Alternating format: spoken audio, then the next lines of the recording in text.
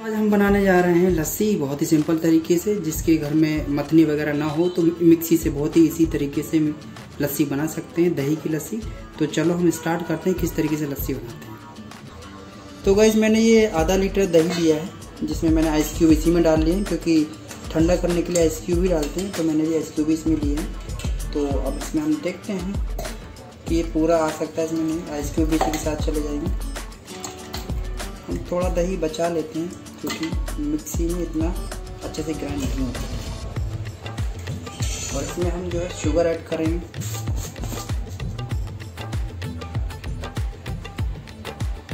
तो शुगर हम इसमें डालेंगे। ये बिल्कुल अपने टेस्ट पे डिपेंड करता है कि आप कितना मीठा खाते हैं, कितना मीठा आपको लेना है।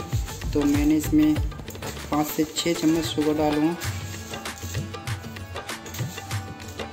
मुझे ज़्यादा मीठा अच्छा अब हम इसको सिंपली ग्राइंड करेंगे, और कुछ नहीं है इसमें।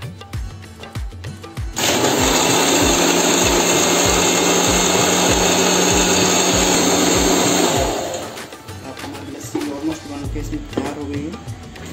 सब कुछ ग्राइंड हो गया है बिल्कुल, अच्छे से। और अब सिंपली हम जो है इसको एक अपने लस्सी कप में डालेंगे। कितना इजी तरीका है लस्सी बनाने का, देख सकते हैं आप भी। ये हमने अपनी लस्सी कप में डाल दिया। अब इसके ऊपर से हम मलाई डालते हैं। जैसे आपने देखा होगा, मार्केट में मलाई डालते हैं। तो हमने भी दूध की मलाई ली इसमें गाढ़ी गाढ़ी और इसमें इन नारियल का बुरादा डालते हैं। तो ये आप पे डिपेंड करता है, आप ज़्यादा डालना चाहें या कम।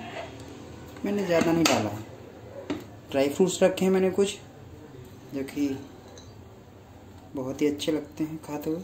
इसमें और जो इसमें कुछ अच्छा सा है, रूह अफ़ज़ा। ठंड में तो नहीं पीते, लेकिन गर्मियों में इसको ज़रूर पीते हैं। और लस्सी में अलग ही टेस्ट ये ऐड कर देते हैं। अब ये हमारी लस्सी बनकर तैयार हो चुकी है। इसको पियो और बढ़िया गर्मी का मज़ा लो।